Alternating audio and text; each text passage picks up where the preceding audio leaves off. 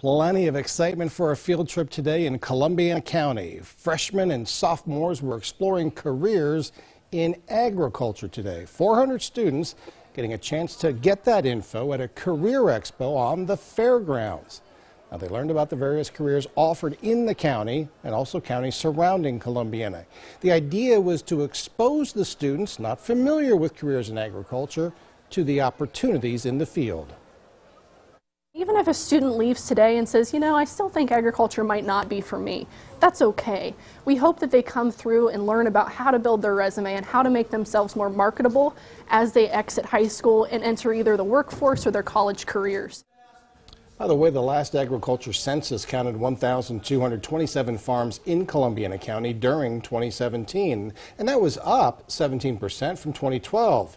Now, the ag census is done every five years, so the next count is being done this year, and that starts in November.